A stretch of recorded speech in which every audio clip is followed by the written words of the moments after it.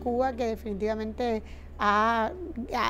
capturado ¿no? la atención alrededor de las transformaciones que se están haciendo. y yo pienso que en general el panel dio una perspectiva optimista respecto a los avances que se han logrado a partir de toda la reflexión que se ha hecho sobre el modelo económico cubano, la importancia de consolidar eh, los consensos para poder llevar adelante, pero también eh, creo que fue eh, consenso que estos son procesos que llevan tiempo, que son complejos,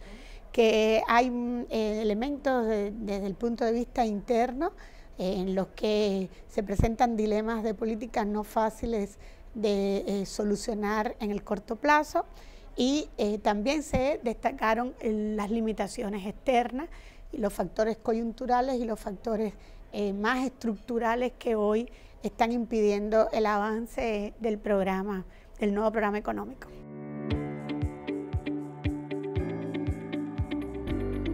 Bueno, ha habido un restablecimiento de las relaciones, pero como también se aclaraba, es el inicio de un proceso de normalización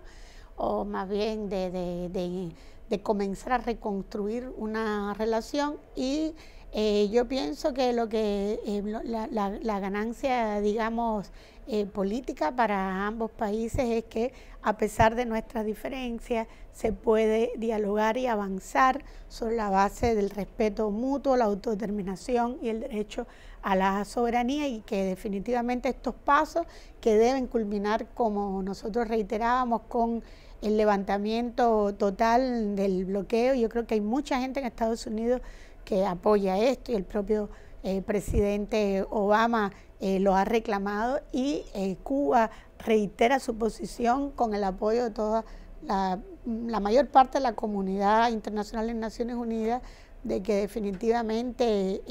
estamos esperanzados, optimistas y se está trabajando por ambas partes para lograr este objetivo, el objetivo de levantar el bloqueo, que es lo que podría eh, eh, crear las condiciones para restablecer realmente relaciones económicas entre nuestros dos países.